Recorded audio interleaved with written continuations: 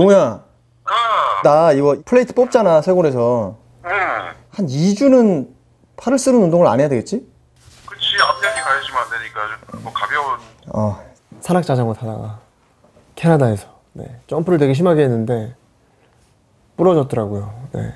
이틀 뒤에 그 쇄골에 박혀 있는 철심을 제거하는 수술을 해서 과격한 운동은 한 한 달 정도는 하지 말라고 얘기를 들었거든요. 이게 다시 부러질 수가 있어서 산에서 마지막으로 타대했다, 오늘.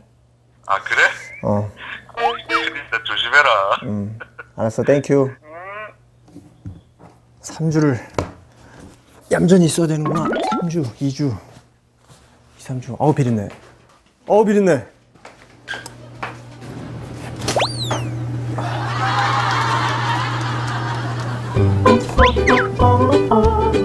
여기 조그매졌어.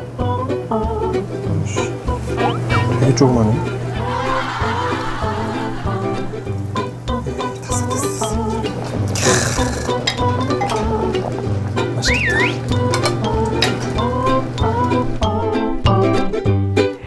you wanna be goofy, go right ahead. Love, love, love, love. 음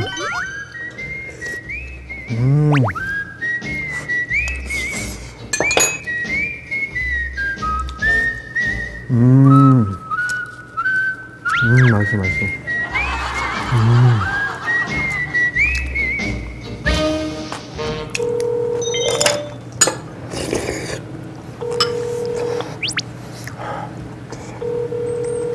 어, 안 받아.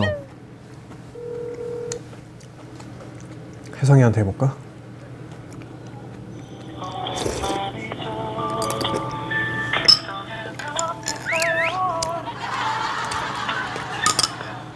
다들 안 받아.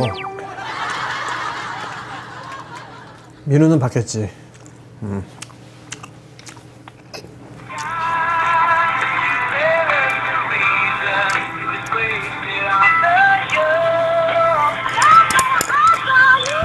아니 다 안 받아.